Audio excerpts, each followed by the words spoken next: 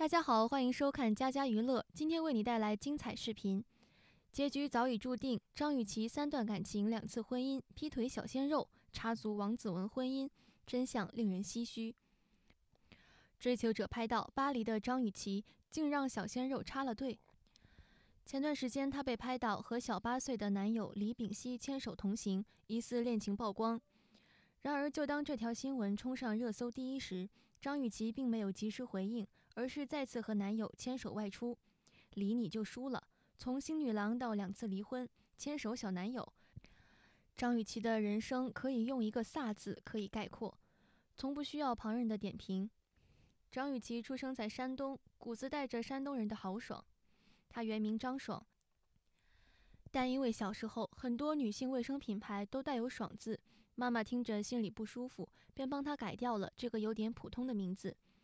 张雨绮的性格中带着家庭的烙印，尤其是三岁时父母离婚，跟着母亲独自长大，年少的心里记下了母亲独立坚强的一面，让她逐渐成为大女人。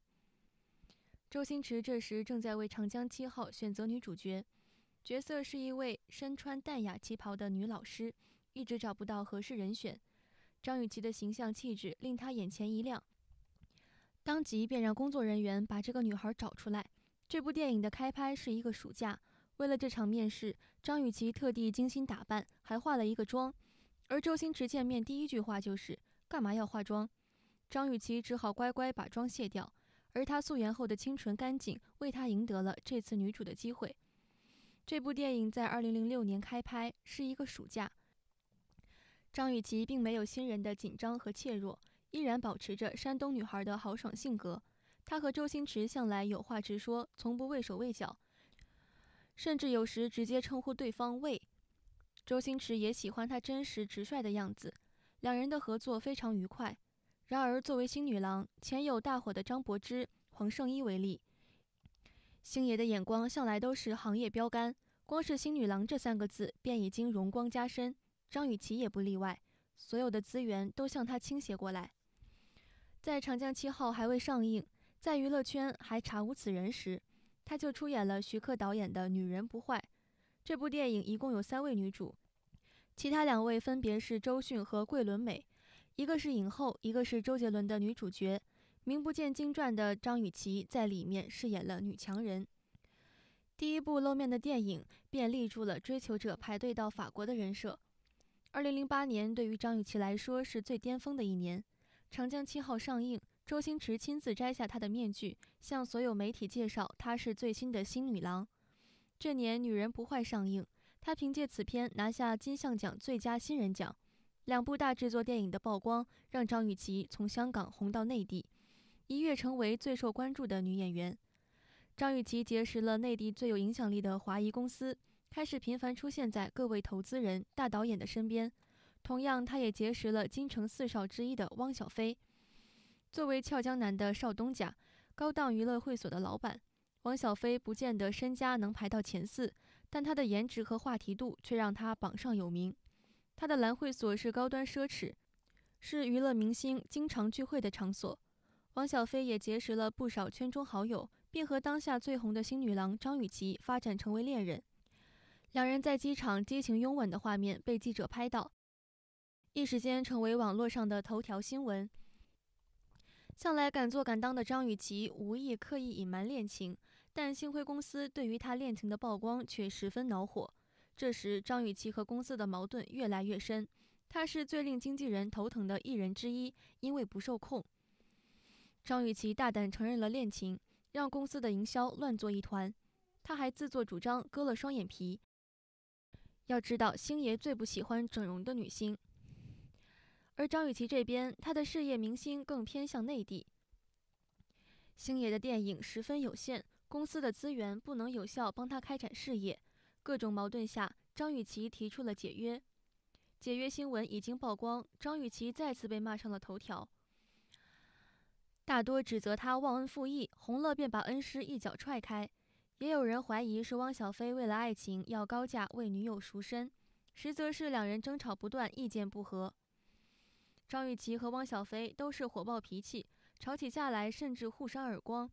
而且汪小菲还有一个企业家母亲张兰，对于张雨绮更是看不上眼，恨不得赶出家门。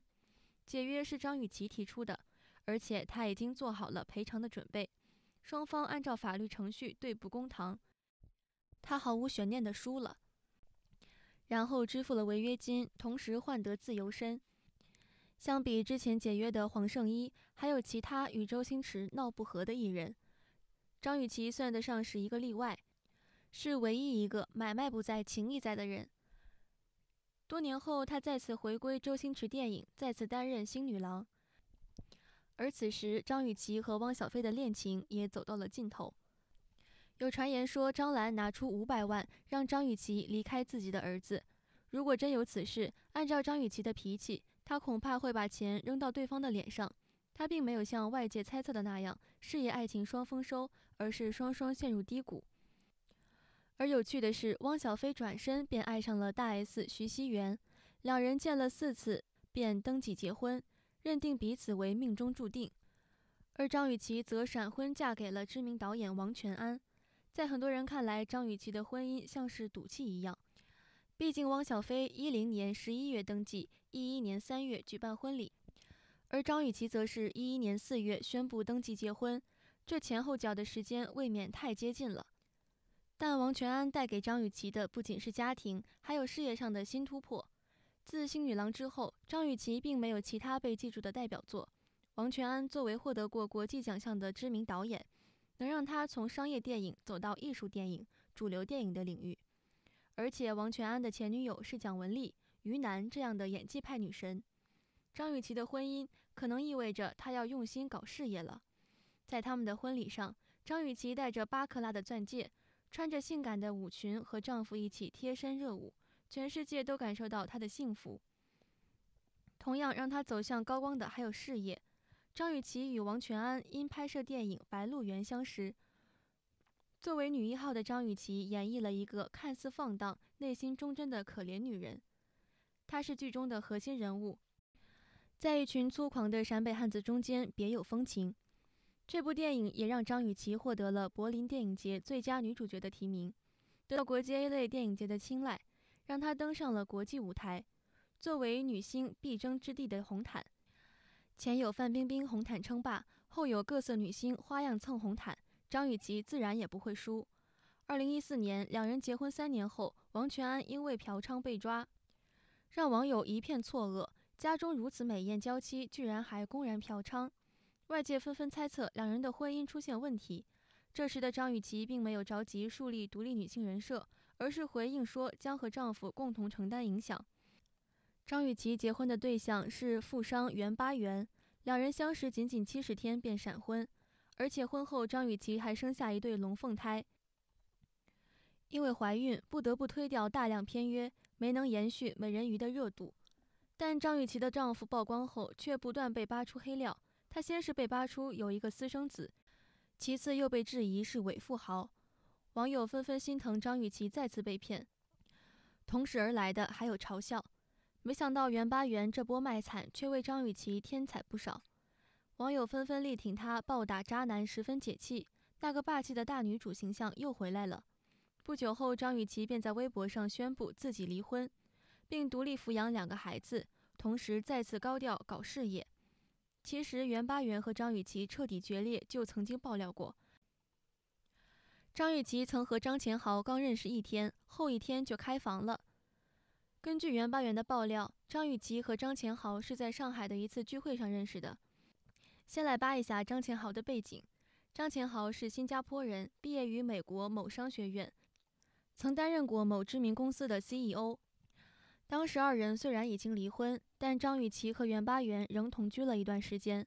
随后，张雨绮就在社交平台上发表了一段毁三观的回应。但真正让张雨绮翻身的，还是去年的综艺《乘风破浪的姐姐》。好了，今天的视频就分享到这里了，更多精彩资讯在家家娱乐，敬请关注哦。